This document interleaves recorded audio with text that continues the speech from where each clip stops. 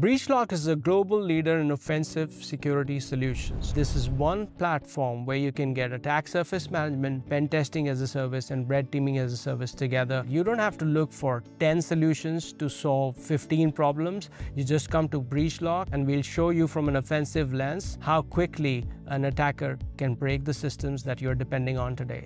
Hi, this is Seemant Sehgal. I'm the founder CEO of Breachlock. We're based out of New York, London, Amsterdam, and Delhi, India.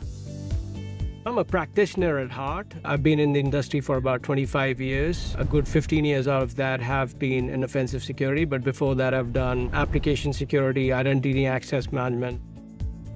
Over past six years, I've interacted with a lot of enterprise CISOs, a lot of clients, a lot of CISO friends. And I think one thing that stood out for me personally is that the CISOs are kind of sick of having tools pitched to them all the time. And these are people that are understaffed. They don't have enough resources. They have to fight for the budget all the time with the board. And hence, what they're really looking for is solutions, not tools. And that's one thing that stood out in every conversation that I had, and that's something that we've also taken on in the mission of Breachlock. My team has very clear instructions not to push a tool or an automation technology. It's a combined hybrid solution which comes with technology and expertise from human hackers. And that's basically one lens that they can see the whole world through, which will tell them what offensive security can do for their business.